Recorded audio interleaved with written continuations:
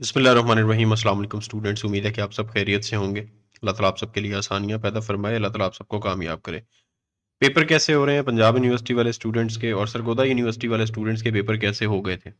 आप लोगों के सरगोदा यूनिवर्सिटी के पेपर अल्हम्दुलिल्लाह मुकम्मल हो चुके हुए हैं और पंजाब यूनिवर्सिटी के भी पेपर जो है वो सिर्फ़ दस बारह दिन रह गए हैं। पेपर इन ताला कंप्लीट हो जाएँगे और उसके बाद सब स्टूडेंट्स अपने अपने रिज़ल्ट का इंतज़ार करेंगे कि हमारे रिज़ल्ट कब अनाउंस किए जाएँगे।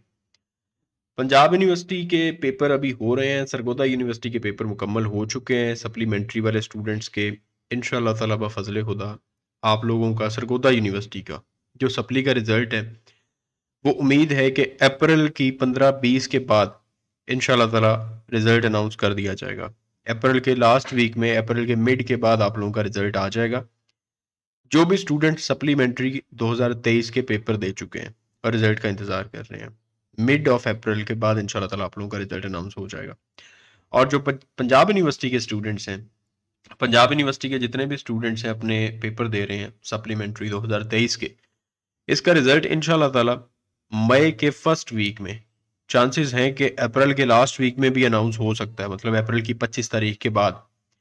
लेकिन मई के फ़र्स्ट वीक तक इंशाल्लाह ताला आप लोगों का रिज़ल्ट अनाउंस कर दिया जाएगा और उसके बाद आप लोगों के एनुअल एग्ज़ाम 2024 जो सालाना इम्तहान दो हज़ार चौबीस हैं। वो इन ताला शुरू होंगे क्योंकि पंजाब यूनिवर्सिटी ने अनाउंसमेंट कर दी हुई है। आप लोगों के एनुअल एग्ज़ाम 2024 की भी डेट आ चुकी है। आप लोगों के पेपर होंगे। अल्लाह ताला आप सबको कामयाब करे। चैनल को सब्सक्राइब लाजमी कर लीजिएगा। वीडियो को लाइक कर दीजिएगा। खुदा हाफिज़।